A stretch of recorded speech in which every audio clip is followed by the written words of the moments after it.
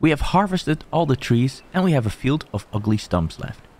Our beavers are busy elsewhere, but we want to clean it up anyways, because it's an eyesore. A simple way to do so is by placing and removing roads right over the stumps. Since roads are free, it only takes a little time without having our beavers doing the work. This also works for dried out berry bushes and dandelions. Follow me for more Timberborn videos.